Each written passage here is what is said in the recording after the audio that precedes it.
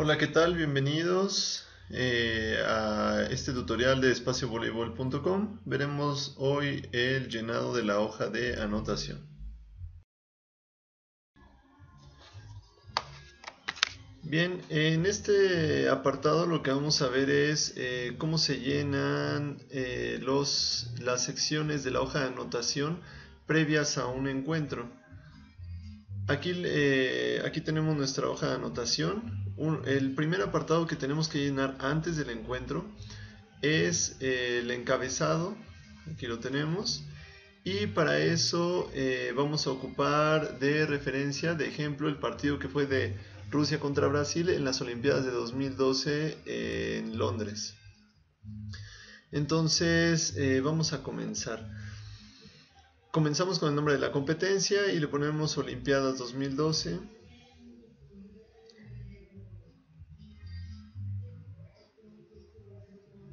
2012.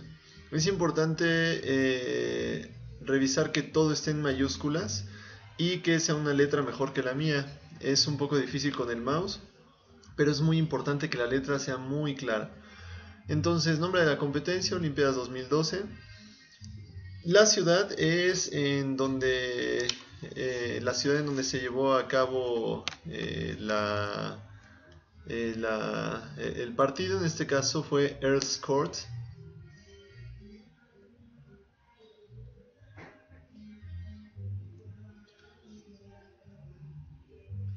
Así se llama el distrito en donde, en donde se llevó a cabo el juego.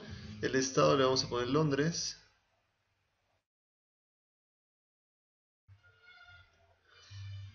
Ok. Y eh, la sede es el gimnasio eh, en donde se, llevó a cabo la, este, la competencia, la cancha, el gimnasio. En este caso fue en el, en el Earl's Court Exhibition Center. Vamos a poner nada más las siglas porque no cabe todo. Earls Court Exhibition Center. Ok, en la fase eh, tenemos tres opciones, fase eliminatoria, fase, eh, para eso se, se ocupan las siglas ELIM, eh, si es semifinal se ocupa semi y si es final se ocupa final. Entonces, como era la final, vamos a poner aquí final. Final. Muy bien. El número del juego es el número del juego del encuentro. En este caso eh, son todos los juegos que se han llevado a cabo en, este, en, las Olimpiadas que han tenido en el rol de juegos. Vamos a ponerle ahorita un número de, juego, el 37. Aquí lo tenemos. Es, eh, vamos ahora con la rama. Es de la rama varonil. Ok, y la categoría es categoría senior. Es importante que en el apartado de categoría utilicemos la categoría que eh, viene en el rol de juegos o que nos dicta el comité organizador.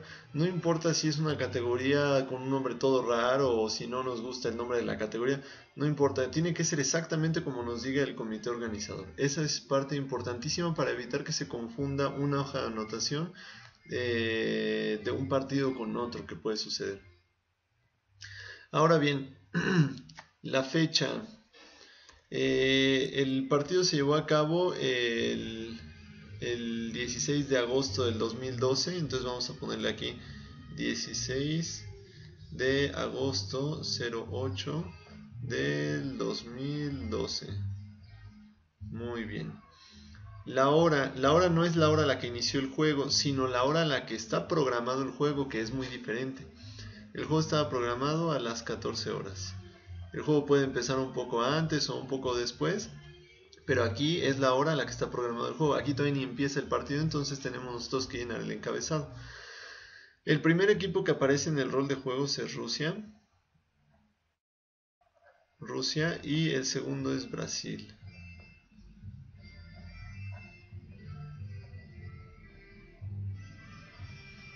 Ok.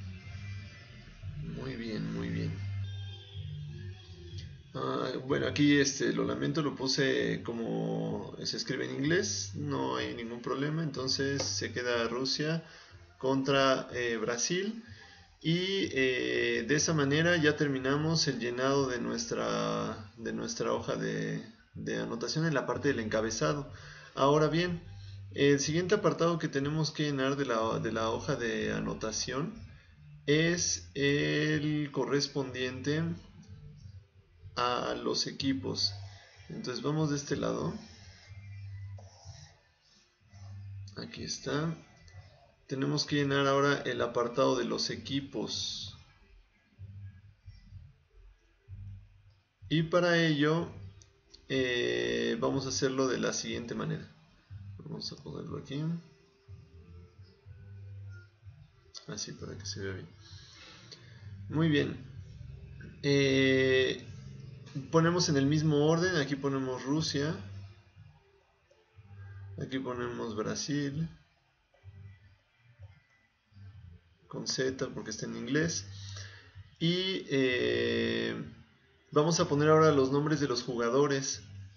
Para poner los nombres de los jugadores vamos a hacer lo siguiente. Necesitamos seguir una... Ah, a ver si me está yendo para allá. Vamos a regresar este de este lado. Aquí. Eh, vamos a hacer lo siguiente, necesitamos colocar sí, los nombres de los eh, jugadores, pero lo vamos a hacer de la siguiente manera. Vamos a colocar primero el número, en este caso el número 3, y vamos a poner su apellido. el número 3 es Apalikov.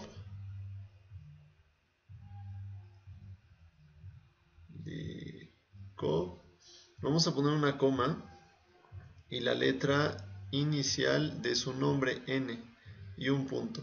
Es la manera en la, este es un punto, ¿eh? es la manera en la que nosotros vamos a ir haciendo el llenado de la hoja. Eh, vamos a continuar. 4.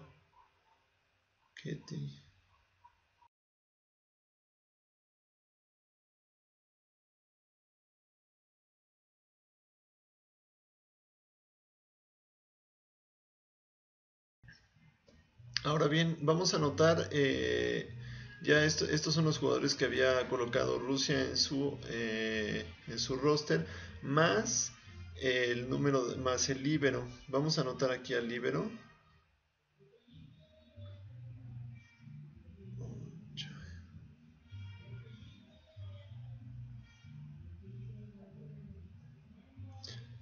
Se ocupa el mismo formato eh, que, con los demás jugadores, nada más que se coloca en el apartado del jugador libero.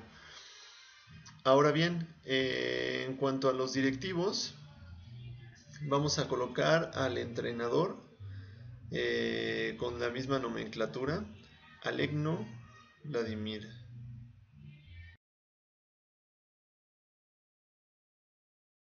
Listo.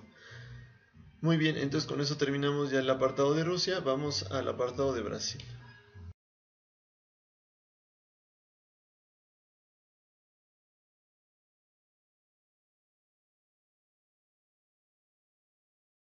Ahora los entrenadores, Resende Bernardo.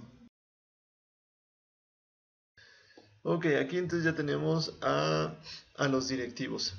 Y lo que hay que hacer ahora es determinar eh, a los capitanes de cada equipo. Cuando ya los hayamos determinado, entonces los circulamos. En este caso es el número 4 de Rusia y el número 7 de Brasil. Ellos son los capitanes. ¿Qué es lo que tenemos que hacer ahora? Eh, Vamos a dejar pendientes ahorita las firmas de los capitanes y los entrenadores porque todavía ni siquiera inicia el juego, eh, todavía ni siquiera estamos en la parte del calentamiento, esto debe de hacerse mucho antes. Y vamos a llenar el apartado de los árbitros. Vamos a llenar el apartado de los árbitros. En cuanto a los nombres, debe de, de usarse la misma nomenclatura que se ha usado para todos los eh, los jugadores.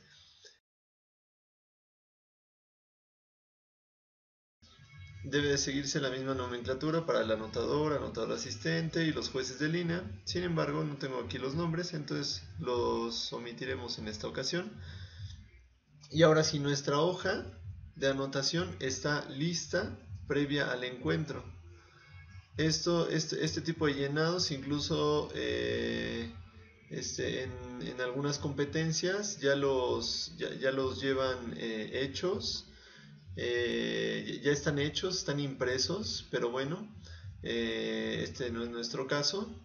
Y vamos nada más a recordar cuáles fueron los apartados. Fue este apartado el que llenamos y también este apartado y también este apartado. Estos son los apartados que tenemos que tener, eh, los que están en rojo, antes del encuentro. Ya que, eh, ya que estamos en la cancha, ahora sí, eh, hay algunas cosas que tenemos pendientes, que son nada más la firma de los jugadores y de los entrenadores.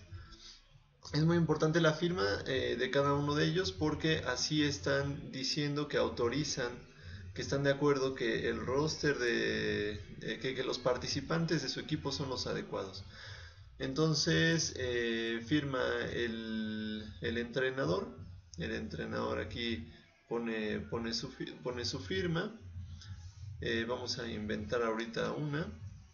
Esta es la firma del entrenador y luego el capitán, de, este, el otro entrenador, perdón, el otro entrenador. Y eh, en el momento del sorteo, eh, se le pide a los capitanes que se acerquen para que también firmen. Entonces, eh, aquí firmarían los capitanes este, de esta manera. Ya que están las firmas, entonces nuestra hoja ahora sí está completamente lista para iniciar el juego.